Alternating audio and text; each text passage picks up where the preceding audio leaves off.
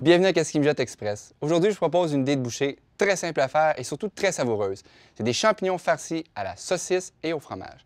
Alors, j'ai déjà retiré le pied de 24 champignons. Ensuite, je vais les placer le chapeau vers le haut et je vais les badigeonner avec la vinaigrette italienne piquante. Comme ceci.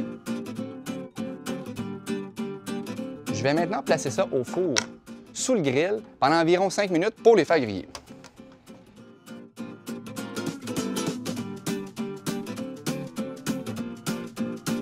Après cuisson, j'ai retourné les chapeaux de mes champignons et je les garnis maintenant avec la chair de saucisse italienne cuite.